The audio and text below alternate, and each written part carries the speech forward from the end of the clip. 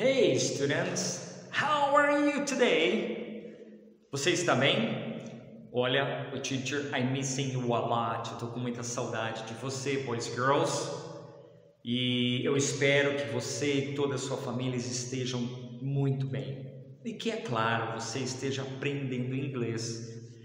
Ótimo! Eu tenho recebido ah, muitos ah, e-mails onde os pais realmente têm feito ah, as coisas que estamos pedindo para que você possa aprender inglês. Isso é muito bom, boys e girls. Nós paramos na última English class, na página 41. Inclusive o teacher é, ouviu a música com vocês, cantamos e o teacher parou. E era para fazer o homework e alguns fizeram, parabéns, e nós vamos corrigi-lo hoje, porque o objetivo era esse mesmo, para vocês terem uma autonomia para conseguirem fazer o homework. Tá joia? Era um homework muito legal para fazer e hoje nós vamos corrigi-lo. Então, a nossa aula continua na Unit 3 e nós vamos estudar exatamente pages number 41 until 47. 41 until 47. Ok, my friends? Muito bem. Então, lá na página 41 tinha música super legal, né? Deserts, mountains, forests and reefs. Ah, eu gostei da música bastante. O homework era para fazer o seguinte: nós temos alguns personagens e precisamos ligar o que cada um gostava, tá bom? Qual parte que eles gostavam. Importante, boys e girls, que depois no exercício 2 é para você desenhar um coral, né? Lembra do Nemo? Procurando Nemo. Então, ó, o Nemo fala da Austrália, tá bom? Olha aí, ó, outra coisa que nós vamos aprender. Nemo, ele era australiano e aí foi atrás, é, desculpa, o pai dele foi, né? Atrás dele. Que legal. Ah, e aí você desenha e pinta e fica à vontade, tá joia? Vamos lá. La, letra A. Rob. O Rob ele gosta do quê? Observe, boys and girls, que cada vez você vai ter que acrescentar porque a letra A está dizendo assim, ó, Rob, ok? Rob, uh, tem o Rob, a letra B, tem a Lucy, ok? A letra C tem o Peter, tá bom? Esses são os personagens. A letra uh, D fala a Karen. Olha só, são esses que nós precisamos. Agora, se você nota, o Rob tá ó, I like, I like the, e aí você tem que colocar, ok, my friends?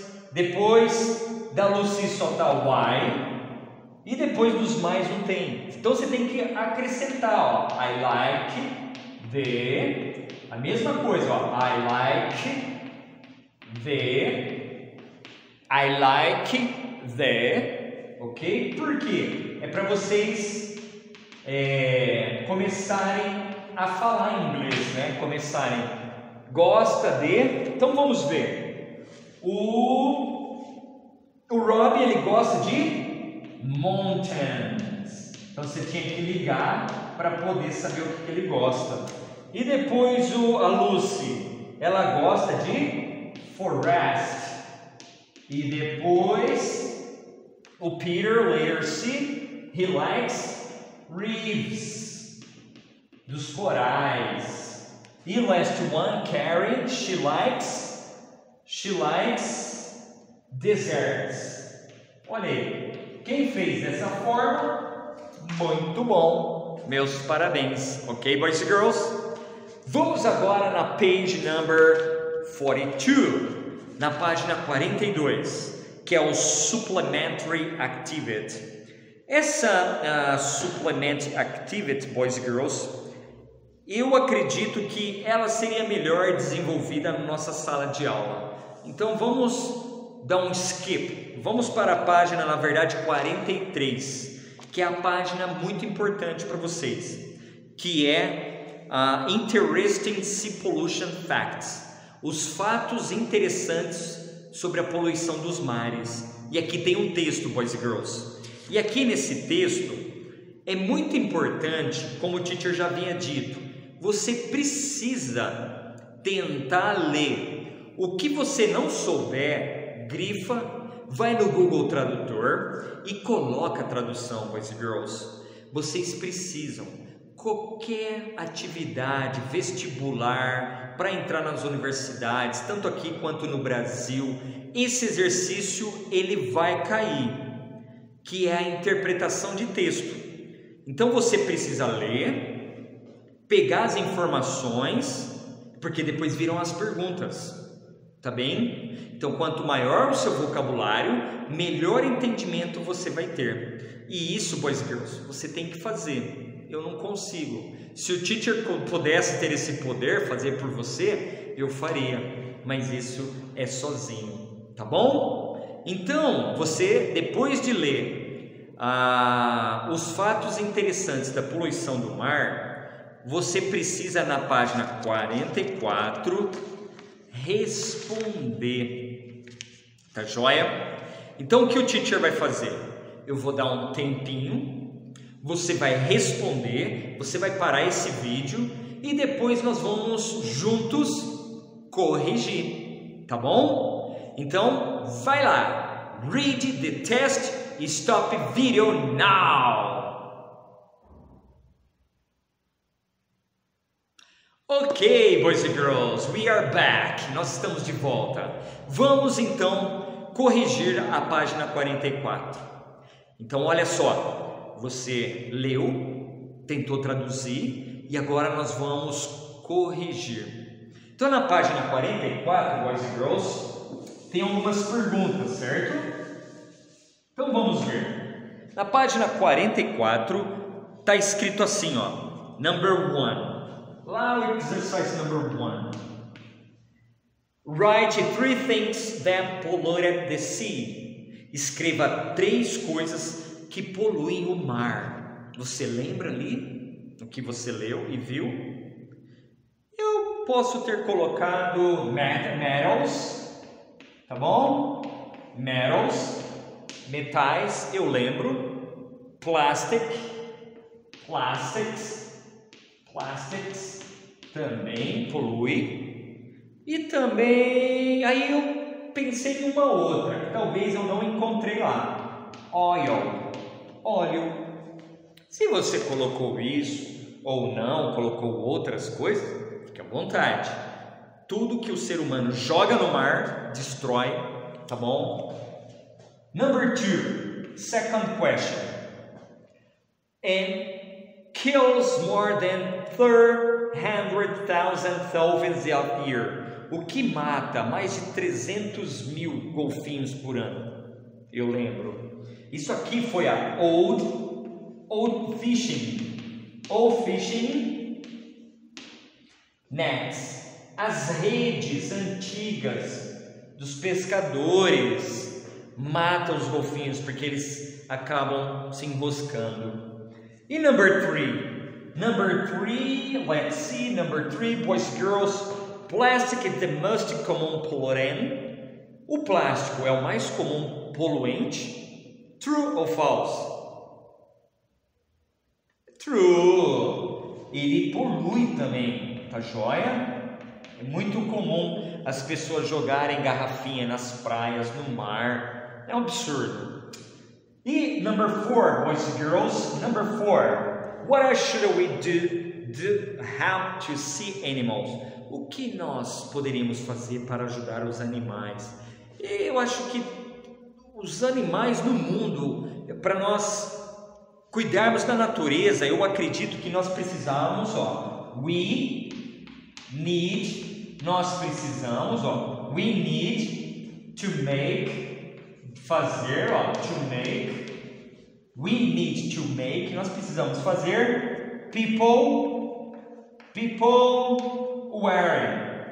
Olha lá, ó, se conscientizar, wearing. Se nós não conscientizarmos, se não ajudarmos as pessoas a saber que é importante não poluir, nós vamos ter grandes consequências, mas, mas também tem que começar de nós, tá bom? Vamos agora, boys e girls, na página 45 e a página 46. Só que aqui, boys e girls, eu vou colocar o CD justamente porque para você começar a ouvir inglês. E aí o teacher vai traduzir, tá bom? Para que você possa saber o que está acontecendo aqui nesse story time. Então nós vamos lá, escuta a story time. Let's go. Track 17, Unit 3. Story time. Pollution. Story time. Learning with stories.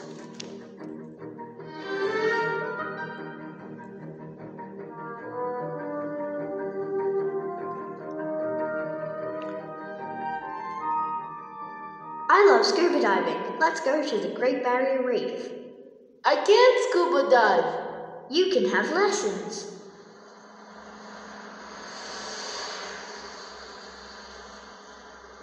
Alex, you should not sit in the back of the truck. It's against the law. Oh, what a pity. It is so much fun.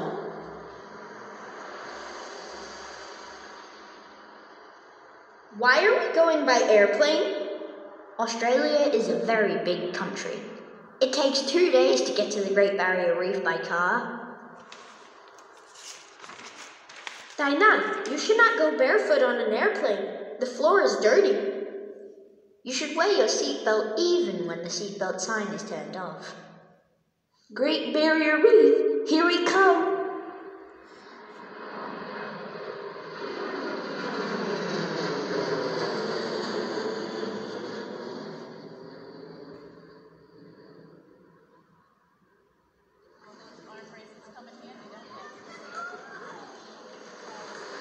Look at all those sea animals. So many different species. This is awesome, Ryan. How many sea animals are there? There are 1,500 different species of fish here.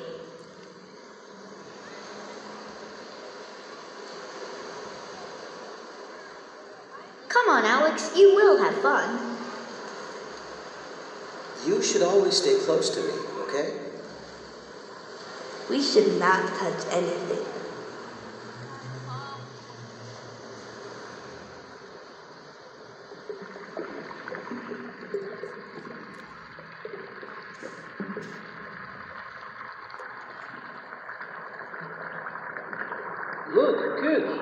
That turtle can die if it eats the plastic bottle.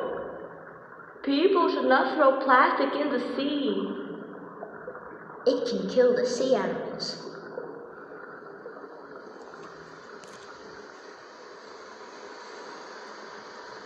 We should leave. It's getting late.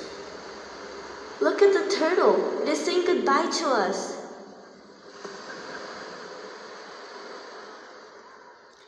Ok, o Story Time, students, é uma boa oportunidade para aprendermos a ouvir inglês. Boys e girls, então vamos lá. Página 45. Ele está dizendo assim, ó. Aqui. Eu amo scuba dive, eu, eu amo mergulhar. Vamos para o grande barreira de corais. I can't scuba dive, eu não posso mergulhar. Ah, você tem razão. Alex, você não deveria sentar atrás do, da caminhonete. Isso é contra a lei. Ó, oh, isso é um pouquinho muito legal. Nós estamos indo de avião. Nós estamos indo de avião. A Austrália é muito um país muito grande e leva dois dias para chegarmos nos barris, ah, na barreira ah, de corais por carro, pelo carro.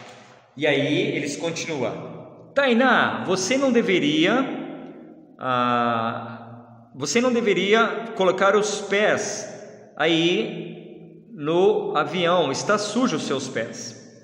E aí ele diz: você deveria usar o cinto de segurança e o cinto que é que está aberto. E aí a Rebeca ela fala assim: "Nossa, barreira de corais aqui, nós aqui nós vamos. Aqui nós estamos indo". E aí depois, olha só todos esses animais marinhos, quantas diferentes espécies. Nossa, isso é maravilhoso, Ryan. Quantos animais lá tem? Aproximadamente 1.500 diferentes espécies de peixe aqui. Vamos lá, Alex. Você vai ter um momento super legal. Vamos lá, Alex. Você deveria sempre ficar ah, perto de mim, ok? Nós deveríamos não tocar em nada. Olhe esses rapazes. As tartarugas podem ah, comer alguns plásticos, garrafas plásticas. As pessoas não deveriam jogar os plásticos no mar. Isso pode matar os animais marinhos. E aí aqui diz: olhe, ah, nós deveríamos sair rápido, nós deveríamos sair rápido e não tarde. Olha, aqui a tartaruga está dizendo bye para nós, está dizendo tchau para nós. Então, boys e girls, é muito legal vocês terem a oportunidade para poder ouvir inglês. E ouça as histórias mais de uma vez, isso vai ajudar, porque o que você lê em inglês não é o que você pronuncia, ok? Para terminarmos, boys e girls, agora vamos em page number 47 e nós temos aí o homework. E o homework, boys e girls, ele é muito importante. Bem aqui desse lado, ó, nós temos as atividades, tá bom? Você vai ter que pôr os enumerar. Mas, por exemplo, para você enumerar, tá bom? Scuba diving, que seria mergulho, sea animals, ver os animais, uh, Greyberry Reefs, a grande barreira de corais, airplane, avião, aviões, plastics, plástico, fish, peixe, kill, matar e turtle. Para você colocar os números aqui, você tem que ver no qual desses balões, ó, 1, 2, 3, 4, 5, 6, 7, você tem que contar os balões da conversa deles, ó. E aí você tem que falar, por exemplo, scuba diving. Na onde que está falando isso? Ó, tá falando no primeiro balão, ó. Olha lá, o scuba diving. Então vou colocar o number one. De onde que está falando sobre os animais marinhos? Ah, eu vou colocar o número, deixa eu ver, 1, 2, 3, 4, 5, 6. Ó, tá falando aqui ó, do número 6 e o 8. Então, para vocês enumerarem, vocês têm que saber no qual balão está. Tá bem? E aqui é o caça-palavras. Vocês vão achar, tá bom? Ah, as, os esportes, desculpa, animals, todas essas informações que estão aqui, vocês vão encontrar aqui no Caça-Palavra. Ok, boys e girls? Esse é o nosso homework. Muito importante, assim que vocês realizarem página por página, por favor, boys e girls, envie para o teacher. Peça para o pai, a mãe enviar através do e-mail, para que o teacher possa fazer um acompanhamento sobre o seu aprendizado. Ok? My friends, Thank you so much for your attention. I hope you are learning English and I see you in next English class. See you later. Goodbye.